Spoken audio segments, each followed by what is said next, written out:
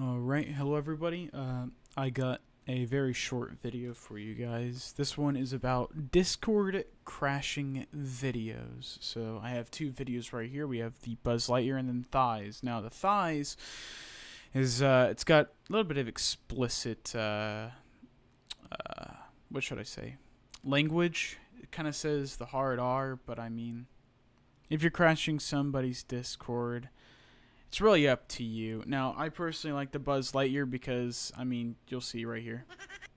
It's the laugh, Discord freezes, and then you're like, oh wait, the video didn't finish. Let me uh, let me just click on something else. Oh wait, ah fuck, yep.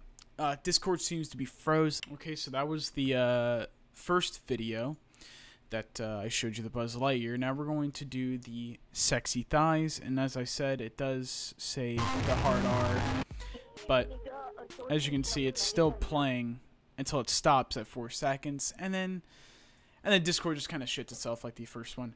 Um, if you guys want these, I'll just I'll put them in the description. I really don't give a shit. I'll label them. The first one should be Buzz Lightyear. Second one is just gonna be um, the sexy thighs. Anyways, uh, thank you all.